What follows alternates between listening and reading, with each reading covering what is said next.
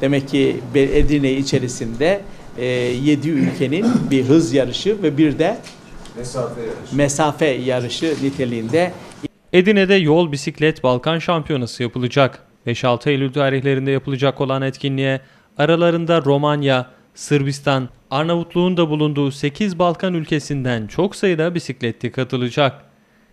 Yine bu pazar günü yapacağımız bir etkinlikte de 5-6 Eylül e, tarihlerinde yapılacak olan e, Balkan Şampiyonası, yol bisiklet e, Balkan e, Şampiyonası e, şampiyonası. İnşallah Edirne Valisi Dursun Ali Şahin valilik toplantı salonunda yaptığı açıklamada 5 Eylül Cumartesi günkü etkinliğin sabah saat 8.30'da Ziraat Bankası önünden başlayacağını, saat 12'de ise ödül töreni gerçekleştireceklerini, pazar günü ise sabah saat 8.30'da Ordu Evi önünden başlayacak olan etkinlik kapsamında 13.30'da ise Atatürk Anıtı önünde ödül töreni yapılacağını söyledi.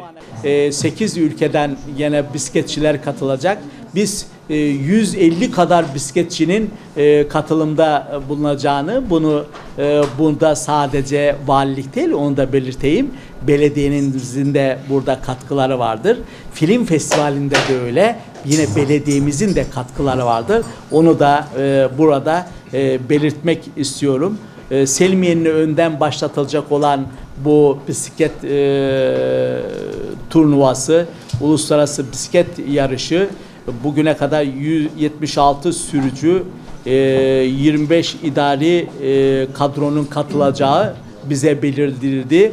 Ama Cuma gününe kadar daha vaktimiz var.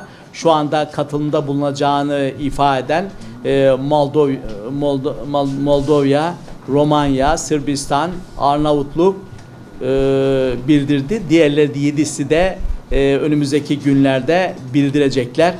Türkiye, e, Bulgaristan demek ki Edirne içerisinde 7 ülkenin bir hız yarışı ve bir de Mesafe yarışı. mesafe yarışı niteliğinde iki e, bisiklet e, yarışını burada e, yapmış olarak Kıbrıs Rum kesimi de bildirmiş.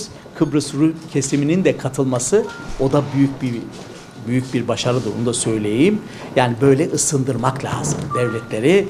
Devletleri birbirine ısındıran aslında yöneticiler değil halktır halk. Halk ısındı birbirine gerisi ısınır.